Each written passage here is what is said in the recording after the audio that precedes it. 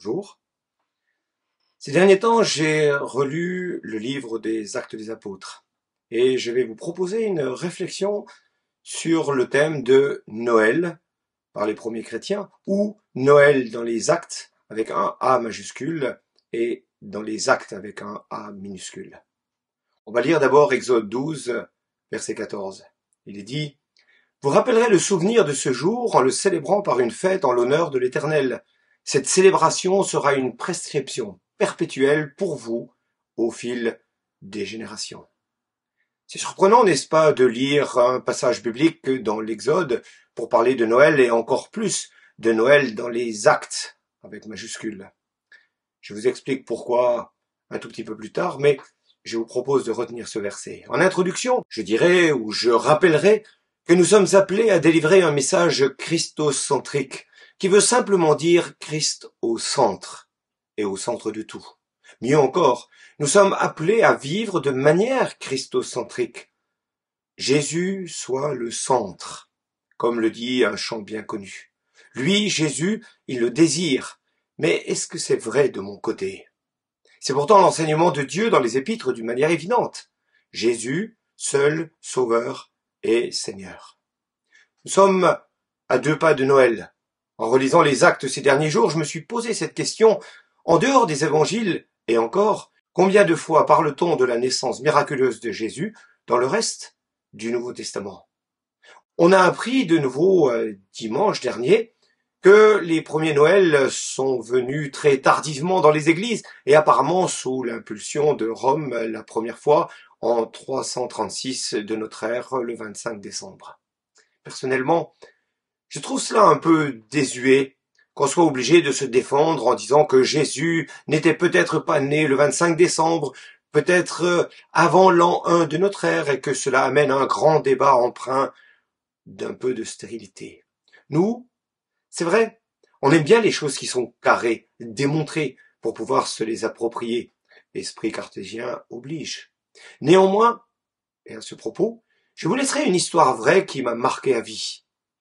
J'ai discuté avec euh, mon ami et frère en Christ, Adou, de Côte d'Ivoire, et en évoquant le décès d'un de ses parents, il a dit il avait à peu près 60 ans.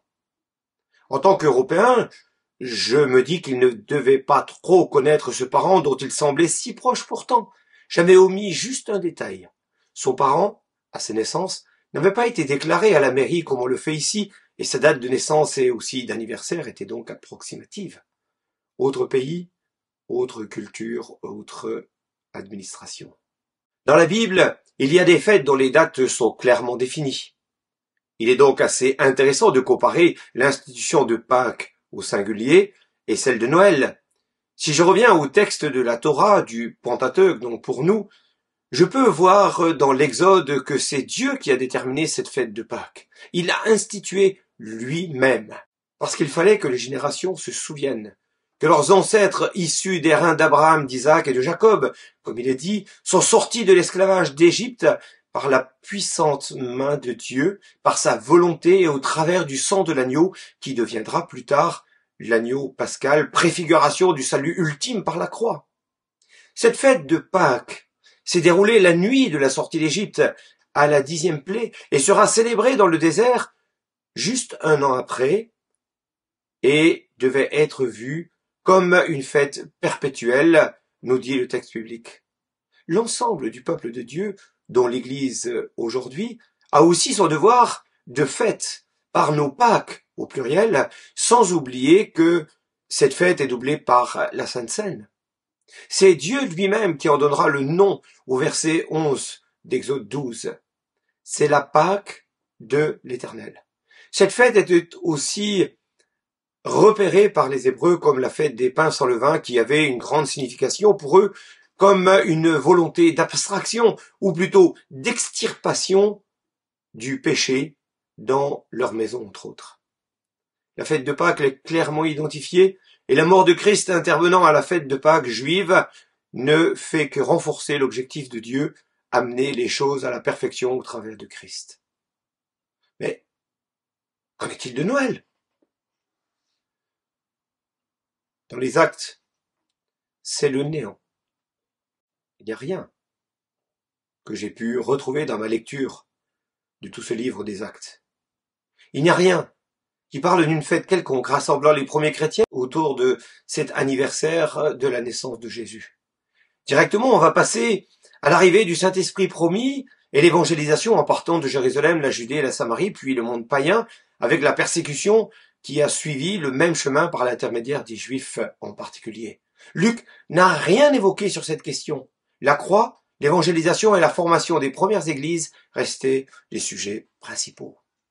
Mais avant cela, dans le suivi des livres de la Bible, vous avez aussi remarqué que Jean, l'évangéliste, n'en a rien dit non plus.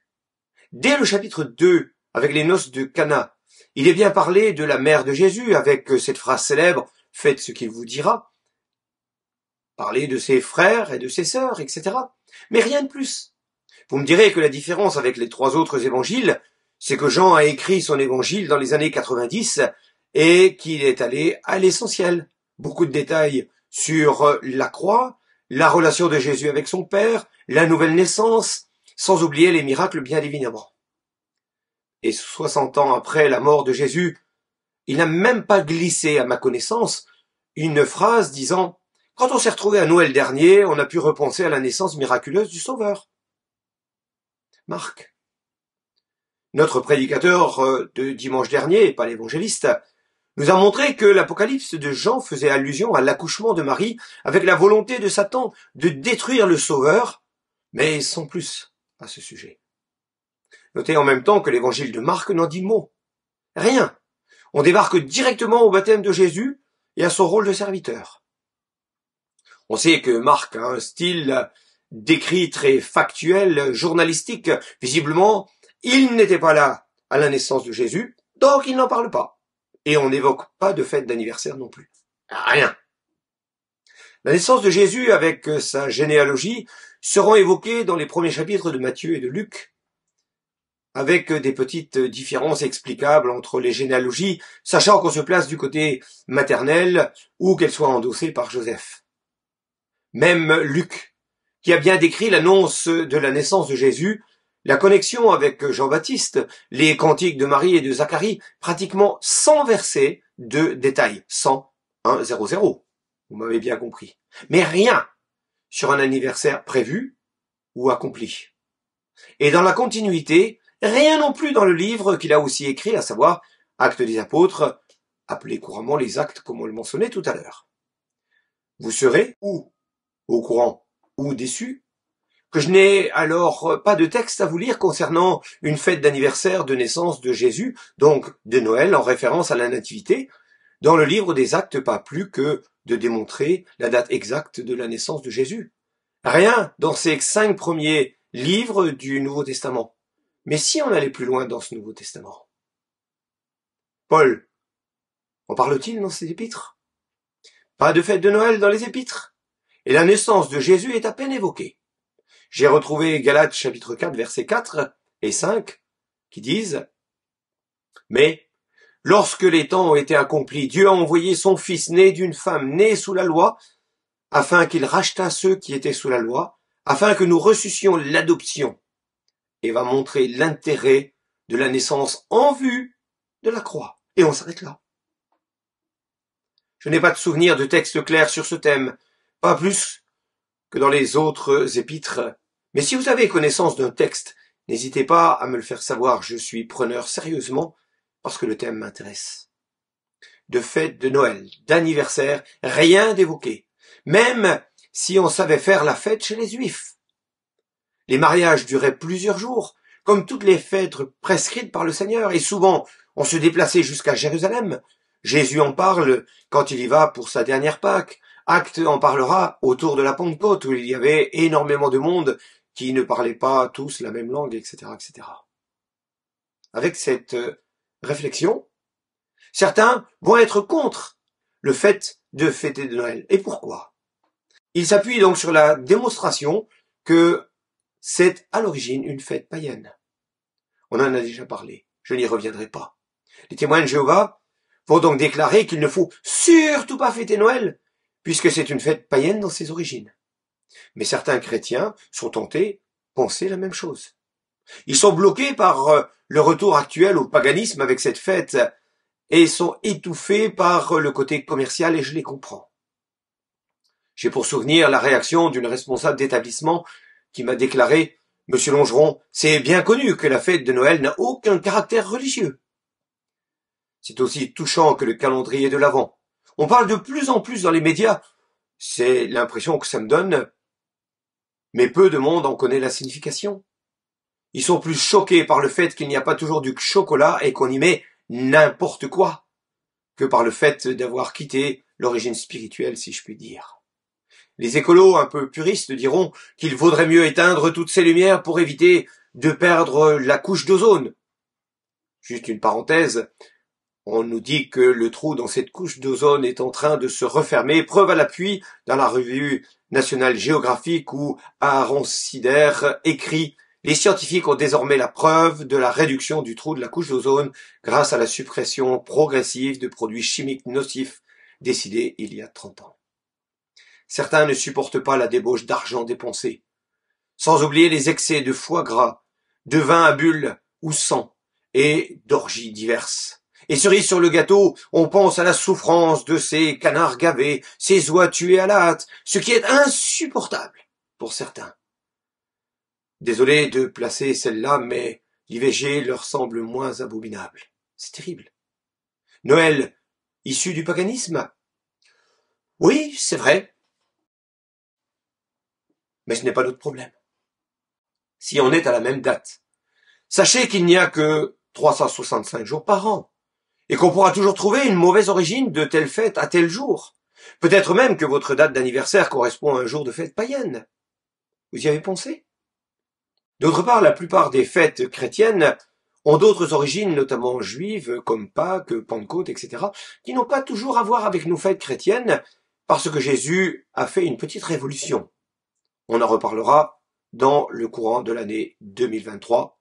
C'est en projet.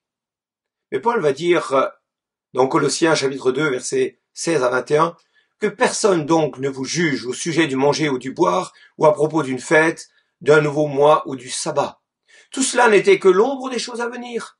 Mais la réalité est en Christ. Que personne, par son goût d'une fausse humilité ou du culte des anges, ne vous prive de la victoire. Plongé dans ses visions, un tel homme est sans raison enflé d'orgueil sous l'effet de ses pensées tout humaines. Et il ne s'attache pas à celui qui est la tête. C'est pourtant d'elle que tout le corps bien nourri et solidement assemblé par ses articulations et ses liens tire la croissance que Dieu donne. Si vous êtes mort avec Christ aux principes élémentaires qui régissent le monde, pourquoi, comme si vous viviez dans le monde, vous soumettez-vous à toutes ces règles. Ne prends pas, ne goûte pas, ne touche pas. Elles ne concernent que des choses destinées à disparaître dès qu'on en fait usage. Il s'agit bien là de commandements et d'enseignements humains. Ils ont en vérité une apparence de sagesse car ils indiquent un culte volontaire, de l'humilité et le mépris du corps, mais ils sont sans aucune valeur et ne servent qu'à la satisfaction personnelle. Laissons donc aux autres le droit de ne pas être d'accord, même aux frères et sœurs en Christ, et donnons-nous la joie de fêter dignement Jésus de manière christocentrique à Noël, en famille ou sans famille, pour glorifier Dieu pour son amour pour nous. Rien dans les actes, le livre, mais Dieu dans nos actes. C'est ce que je vous préconise. On va peut-être aller encore un peu plus loin, en abordant la question de nos anniversaires. Alors à la question Un chrétien peut-il fêter son anniversaire? Le site godquestion.org propose cette réponse. La Bible n'interdit pas aux chrétiens de fêter leur anniversaire et ne dit pas non plus que c'est une obligation. Elle n'aborde pas la question. Elle mentionne deux personnes qui ont célébré leur anniversaire. Le pharaon à l'époque de Joseph, dans Genèse 40, verset 20, et le roi Hérode à l'époque de Jésus, Matthieu 14, 6 et Marc 6, 21. Certains arguent du fait qu'il s'agit de deux incroyants, dont la fête d'anniversaire impliquait certainement des rituels païens en vue d'affirmer que fêter son anniversaire est péché. Mais cette conclusion n'apparaît comme une évidence dans aucun des deux passages. La Bible ne sous-entend même pas que Pharaon et Hérode aient eu tort de célébrer leur anniversaire, et elle ne décourage pas les chrétiens de faire de même. Dans son épître aux Romains, Paul aborde la question du jour du culte, mais ce qu'il dit s'applique peut-être aussi aux anniversaires. L'un fait une différence entre les jours, un autre les estime tous égaux. Que chacun ait dans son esprit une pleine conviction. Celui qui fait une distinction entre les jours le fait pour le Seigneur. Et celui qui ne fait pas de distinction le fait aussi pour le Seigneur. Romains 14, versets 5 et 6.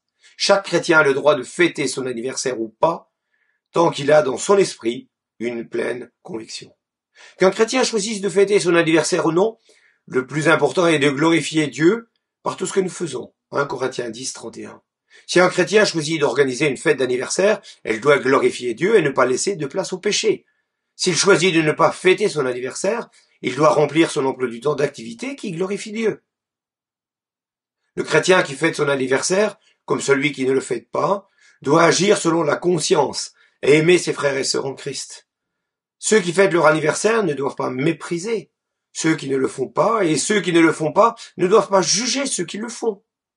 Comme pour les autres sujets que la Bible ne mentionne pas directement, nous sommes libres de fêter notre anniversaire ou non, selon notre préférence personnelle. Fin de citation. J'aimerais vous laisser maintenant une conclusion en sept points. Soyons pratiques. Premièrement, la Bible ne parle pas de ne pas faire d'anniversaire ni d'en faire. On est libre, mais il est certain que Noël n'est pas inscrit dans la parole de Dieu. C'est un fait. Deuxièmement, nous avons tendance, nous aussi, à dévier le sens de Noël et en faire une fête de famille plutôt qu'une fête à Jésus. Et encore, parce que qu'est-ce que la famille dans des familles recomposées? Ça nous oblige à revenir à l'essentiel. Troisièmement, personnellement, je ne suis pas très fan des anniversaires, mais pourtant, ceux qui me connaissent savent que j'aime beaucoup envoyer un mot pour l'anniversaire des uns et des autres, pour le lien social, pour louer le Seigneur pour sa grâce passée et pour l'espérance pour l'avenir que Dieu veut conduire. Quatrièmement, sans la résurrection à Pâques, notre foi est vaine. Mais sans Noël, nous serions juste des païens, puisque sans Noël, pas de Pâques. Cinquièmement, pas de Noël dans les actes, mais pas non plus dans le reste du Nouveau Testament. Mais pas interdit de le fêter si Christ est vraiment bien au centre. Sixièmement. On ne compte plus le nombre de passages messianiques dans l'Ancien Testament, tellement il y en a, suivant nos interprétations. Ce jour de la naissance de Jésus était précieux, miraculeux, prévu à l'avance dans le plan d'amour pour Dieu envers nous. Louons Dieu pour ce beau jour. Septième et dernier point. L'important est donc de rester christocentrique pour Dieu et pour le monde qui nous entoure et de profiter de cette période spéciale pour partager l'évangile. Les lumières apaisantes de cette période pour rappeler que Jésus est la lumière du monde et éclaire tout homme et toute femme. La magie de Noël pour rappeler que Jésus est né miraculeusement, pas par magie. L'esprit de famille pour rappeler le salut en Christ qui fait de nous des enfants de Dieu. Et enfin, la recherche de paix qu'on ne peut trouver qu'en Jésus, qui est lui-même le prince de paix. Alors, je vous souhaite un joyeux Noël. Et, au prochain Noël 2023, si Jésus n'est pas encore revenu.